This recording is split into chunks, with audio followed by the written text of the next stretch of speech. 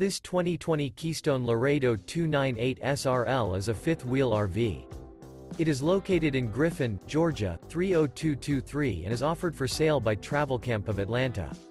This used Keystone is 34 feet 0 inches in length and features three slide-outs, sleep 6. The unloaded weight of this 2020 Keystone Laredo 298 SRL is 8,911 pounds. For more information and pricing on this unit, and to see all units available for sale by Travelcamp of Atlanta visit RVUSA.com.